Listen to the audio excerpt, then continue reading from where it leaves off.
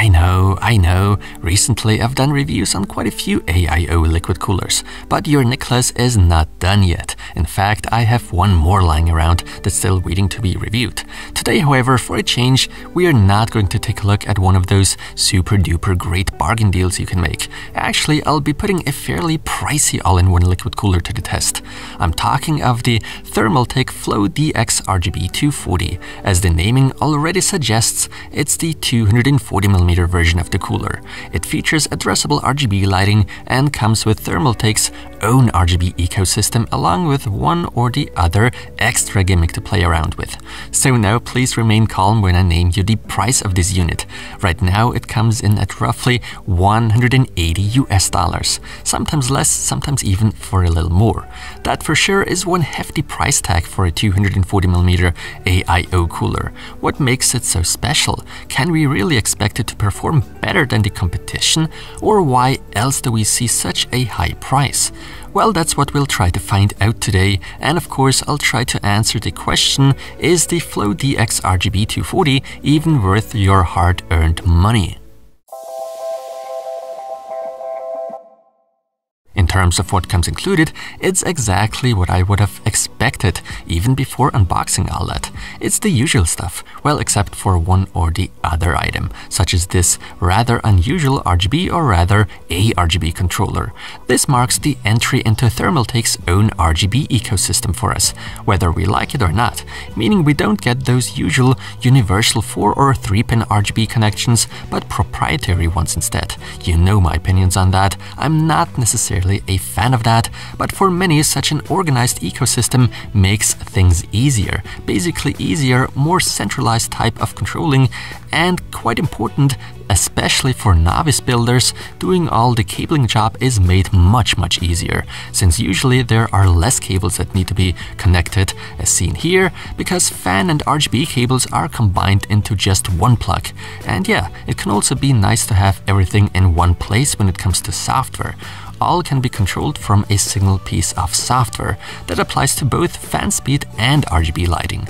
So I certainly do see some advantages in it, but I'm probably getting a little too old already and prefer the universal solution with separated plugs etc. Of course this means I'd have to deal with more messy cables. You hook up the controller to one of your internal USB headers on your motherboard. Those that don't actually want to do that still get a fairly primitive way of changing RGB effects. That's what that dip switch is for. Trust me, it's not as great as it sounds. Those of you that pay close attention to AIOs may have guessed it by now what the manufacturer behind this thing is. Surprise, surprise, it's Asetek. A ton of brands decide to go with Asetek, and there's nothing wrong with that, but it kinda already gives away what kind of performance there is to expect, at least for me. The 27mm thick aluminum radiator is a fairly decent quality, however by no means manages to stand out from the masses anymore. Similar things can be said about the pump unit.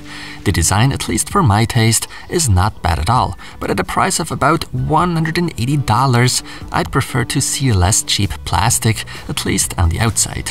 What I find to be a bit of a bummer is the fact that the manufacturer apparently didn't even try to equip this unit with metal fittings. I mean, it sure is no big deal, but at $180, a bit of a letdown in my opinion. Thermaltake's very own Riing Duo RGB fans, on the other hand, deserve great praise. These are of very good quality, even come with good anti-vibration pads, and are pretty quiet in operation, even when setting the fan speed to the maximum of about 1500 RPM. Obviously, it would hardly make any sense if it was just the fans that were quiet, but a pump wasn't. So it goes without saying that Asetek pump, generally speaking, is pretty quiet too. For a silence-oriented PC, today's Floe DX RGB seems to be a pretty good candidate. Something that gets more and more important nowadays, even with AIO units, is the length of the tubing. At 326mm, it's decent, but for specific configurations and modern cases, it can be a bit on the short side. The material is rubber by the way, and tubing is nicely weaved as you can see. So when it comes to looks, Thermaltake has done a fairly good job overall. And while admittedly, aesthetics shouldn't really play too big of a role when it comes to CPU coolers, it's quite obvious the manufacturer did put big emphasis on that. There are a bunch of you guys that simply can't stand RGB anymore. Others still enjoy it and can't get enough of it. I look at it neutrally. Now in order to control all these LEDs, but also fan speed, Thermaltake's so-called TTRGB Plus software is required. That piece of software is pretty versatile. Also worth mentioning is the fact that TTRGB Plus products by Thermaltake are also compatible with Razer's ecosystem, Razer Chroma so you can actually synchronize the lighting between those products. Aside from that, Thermaltake also does offer some gimmicks such as voice control via app etc. to change settings and whatnot. I personally find that a bit silly and unnecessary, but well, it's something to play around with for some I guess. What's a little more interesting though is the performance because as nice as aesthetics are, a CPU cannot be cooled by that alone. The installation, as always with Asetek designs, pretty much always remains the same, fast and simple, nothing I would complain about. Now, since I'm still in my transitional phase when it comes to CPU cooler testing, I'll be testing with an older Intel i7-7700K that has been overclocked, as well as with a fresh AMD Ryzen 7 3800X, and these are the results I got.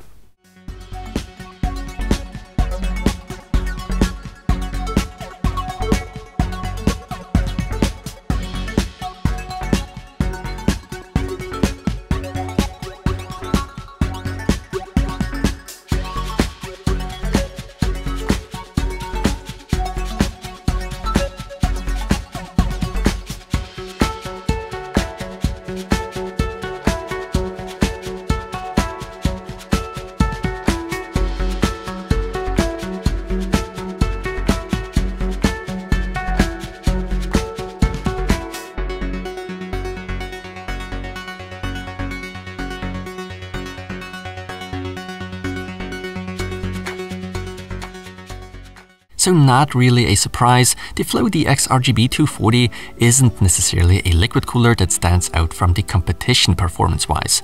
No, actually it delivers pretty comparable performance as almost every other 240mm AIO does. Well, except for a few exceptions that is. So honestly, there's not much I can say here really. The performance is more than okay. The noise levels are looking a little better though than with many other units I tested. By that I mean, it's quieter than the majority LB albeit not the absolute quietest out there. The problem I'm seeing here is the price. At a steep $180 as opposed to the offered cooling performance, that's way too high. I think 120 to $130 would be more appropriate here.